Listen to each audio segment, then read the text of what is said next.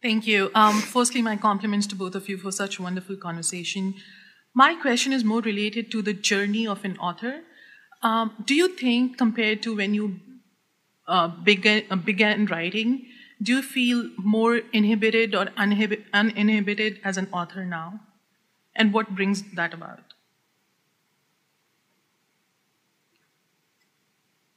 Well, writing always scares me and intimidates me. Um, and I've always felt that. And I think if I ever stopped feeling that, I, I probably shouldn't write anymore. Um,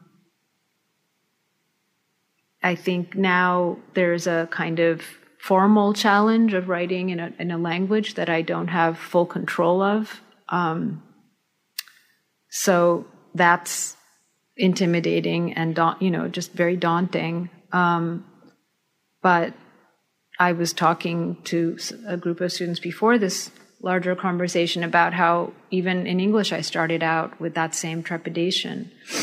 Um, and in some sense, I don't want to lose touch with that, you know, that unease because I think that's important. Um, it's important to approach uh, in that in that way, at least for me.